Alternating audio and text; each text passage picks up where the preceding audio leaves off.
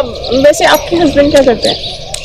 मेरे husband bank में काम करते हैं। अच्छा पता है ये सही है। टाइम वाली जॉब टाइम से जाना टाइम से आना फैमिली को भी टाइम दे सकते हैं। मेरे हस्बैंड को तो ना गारमेंट का बिज़नेस है। उस चक्कर में वो यहाँ अधूरा सा लगता है। कुछ भी अच्छा नहीं लगता।